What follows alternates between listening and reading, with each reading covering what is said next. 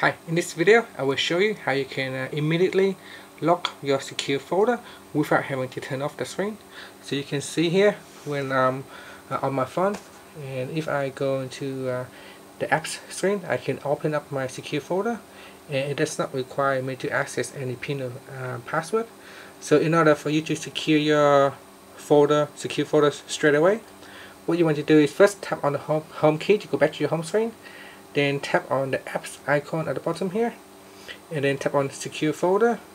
Once you are in secure folder tap on the menu key at the top here and tap on the lock button and this will immediately lock your secure folder.